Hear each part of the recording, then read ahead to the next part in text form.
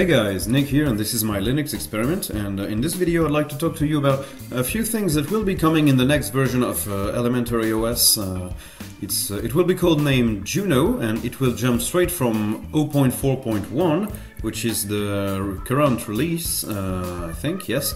It will jump straight from 0.4 to 5.0.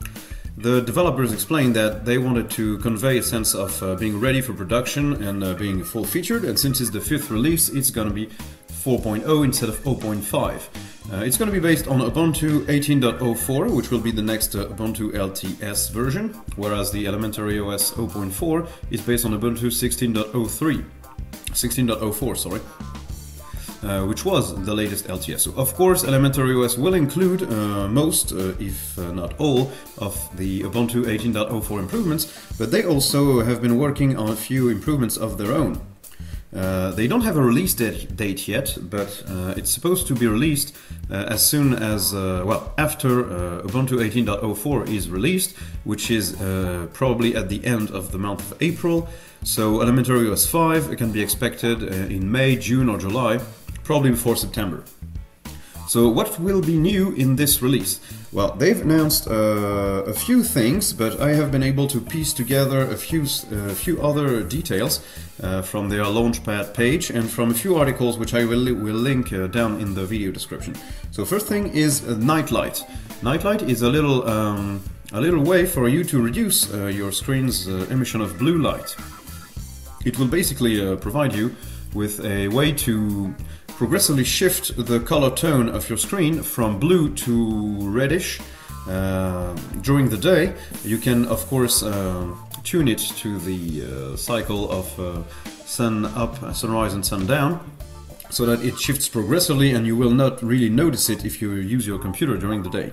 Uh, second feature is going to be the Scratch app, which is the, uh, the text editor in uh, Elementary OS, which we have, for example, here.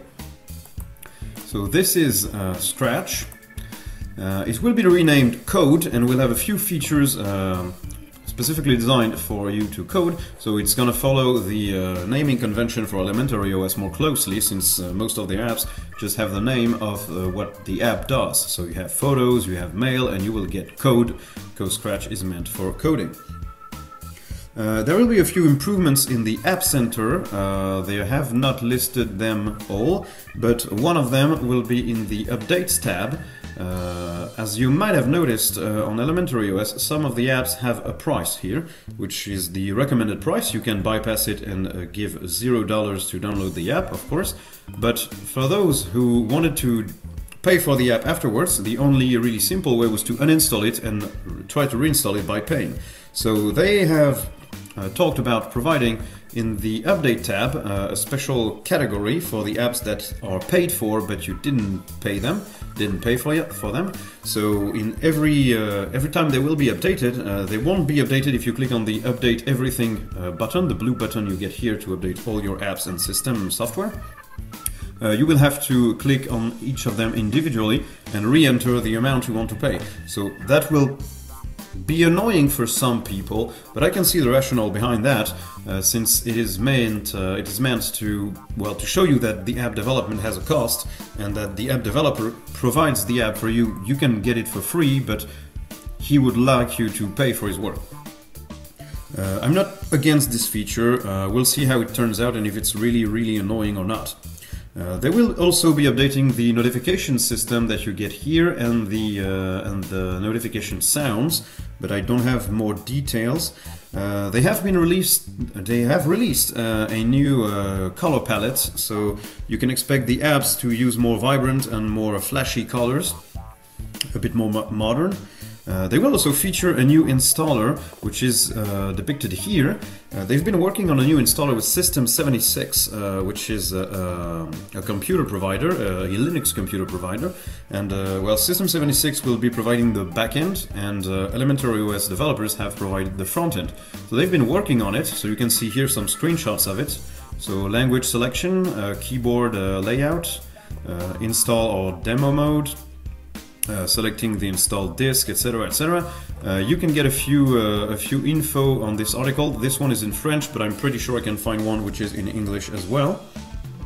They will be improving Bluetooth support with a few uh, bug uh, corrections.